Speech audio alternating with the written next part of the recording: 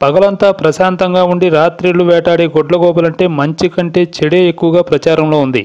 Greek Roman పురాణాలతో పాటు హిందూ పురాణాల్లో లక్ష్మీదేవి వాహనంగా పిలిచే గొడ్లగోపతో మనకు చాలా ప్రయోజనాలు ఉన్నాయి ప్రధానంగా శక్తివంతమైన మూడో కన్ను తెరుచుకునేందుకు అంటే మనలో అంతర్గత నాలెడ్జి పెంచేందుకు ఆవులు చక్కగా ఉపయోగపడుతుందని సైన్స్ పరంగా తేలింది. ఎలా అంటే గొడ్లగోపకి చక్కటి దృష్టి ఉంటుంది.